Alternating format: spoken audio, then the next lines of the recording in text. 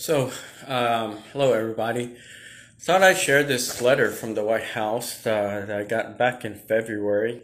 Basically, I've been uh, reaching out to the White House and um, the you know decision makers um, that handles uh, federal government racism, institutional racism type of cases, and workplace discrimination.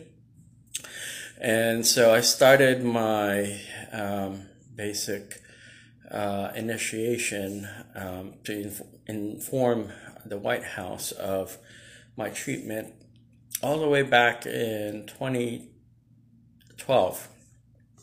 And this letter is dated 2022, so it's been almost past 10 years actually since I've reached out to the White House.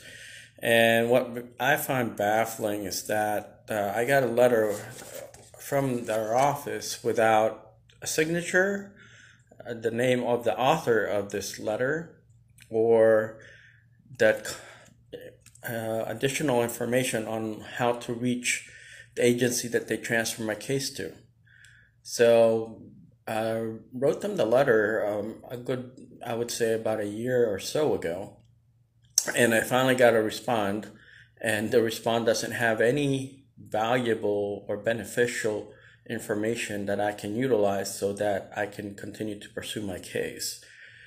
So this is coming from the head of our state, the head of the country's office.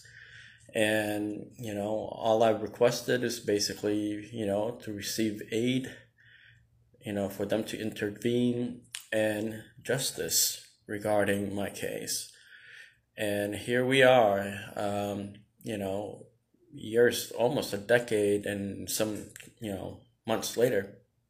And i'm still basically knocking on their door requesting for assistance. Um, yet they've managed to send off billions of dollars worth of taxpayer money around the world. And yet a citizen a former U.S. Peace Corps volunteer and a former civil servant requesting assistance from the White House. Um, it's pretty much put on hold. And like you see here, there's no real relevant or beneficial information that I can utilize so that I can continue to pursue my case.